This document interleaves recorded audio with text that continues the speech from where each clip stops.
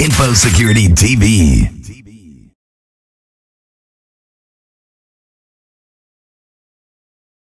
Um, well, actually, the, the panel events this year are pretty stellar. We've got some really good, interesting topics, some really interesting speakers. Um, I'd actually say that I'm really looking forward to my own panel event. I'm the chairman of the risk event, and it's, it's going to be really interesting to hear what my panelists have to say. I've long believed that actually risk management is a, a bit of a poor discipline. It's just three guesses multiplied together. So I'm really interested to see what my panelists have to say about evolving risk management and taking it forward into the future.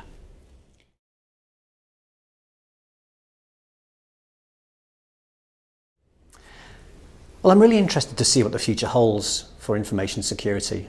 And as an analyst, I think we have some insight into what may happen next. But to be honest, it, it's really quite cloudy. What com what's coming next is very difficult to say. So I'm interested to float my ideas out in front of the rest of the industry professionals and see what they have to say, see what feedback they can give me. It's always interesting to learn new things about security. And uh, when you're speaking in front of such an audience, I think we really can get some great feedback.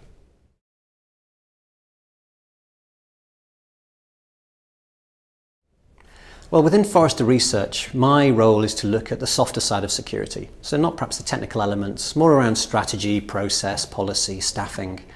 So I think I'll probably be talking a little more about the role of the CISO and how that's evolving into the future, which will probably, probably be of interest to people who want to become a CISO or who are already a CISO right now. But I think we'll see some other aspects coming up.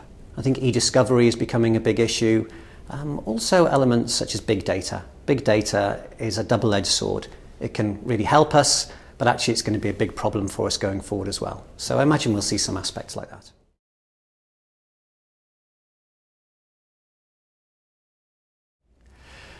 I actually think they probably won't evolve all that much.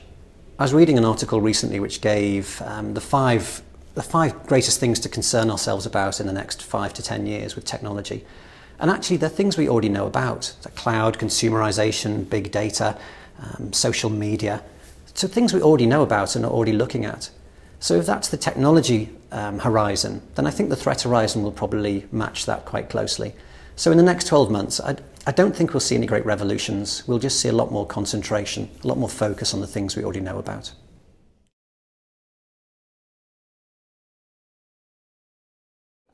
I'd like to see us talking about some great new cloud technology, which is going to enable large firms with very sensitive data to really adopt the cloud. That's what I'd like to talk about. I, th I think what we might see next year is just a little more of the same, perhaps more discussion around the latest breach that's happened, the latest incident that we've seen. But hopefully new technology can actually give us some answers. So this time next year, we'll see a brighter future. Come and see me speaking at the analyst panel on scanning the threat horizon and predicting future risks. I'll also be moderating a panel on fostering a risk-based approach to information security. Both of these are on Tuesday the 23rd of April at InfoSecurity Europe 2013. InfoSecurity Europe, Europe's number one information security event.